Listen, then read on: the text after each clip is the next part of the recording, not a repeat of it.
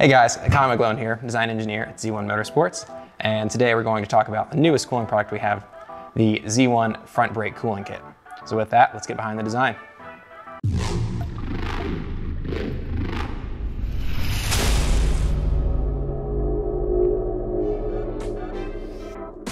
During extended periods of high performance driving, brakes generate a lot of heat.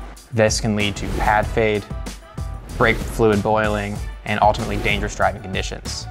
The solution to this is to pump cold air, or a fresh supply of air, into the back of the rotors. This extends pad life, gives you firmer pedal feel, and decreases brake fade, ultimately for safer driving. As a driver, this means you can brake later into corners with confidence that your brakes will still be there.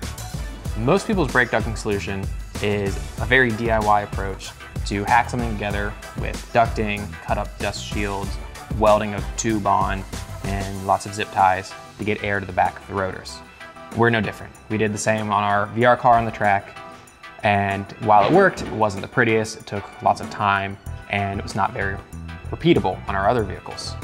To alleviate this problem, we've engineered our new brake cooling kit. So let's get into it and go over the, the actual design of this product. While we've taken a lot of the guesswork out of this, it is still a DIY friendly kit. With the variation of bumpers available for these models, we do not include any bumper ducts at this time. However, you can use NACA ducts, plumb it to your front bumper yourself. Uh, there's a handful of ways to do it. From there, the air is funneled into our two and a half inch reinforced silicone ducting. This stuff is has to run through your engine bay, down suspension components, around your radiator.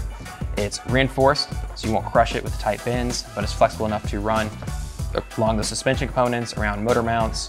It's up to the task as far as heat next to your radiator. Stuff's good to go. All right, now, my favorite part of the kit is the backing plates. They're precision fit to fit right behind your front wheel bearing in place of the factory dust shield. Uh, just basically remove the front wheel bearing, bolt this in its place. Uh, the hose clamps on the back here and directs air to the center of the rotor where it can be effectively funneled out the vanes in the rotor for the most efficient cooling. To better explain this, let me show you how this works. All right. Okay, so you can see the air is deflected into the center of the rotor. Uh, the backing plate is this size to, act, to effectively seal off the back of the rotor, meaning the air has to be pumped out through the vanes for the most efficient cooling possible. And the fun little bonus, you get this cute little flap here to deflect heat away from your lower ball joint.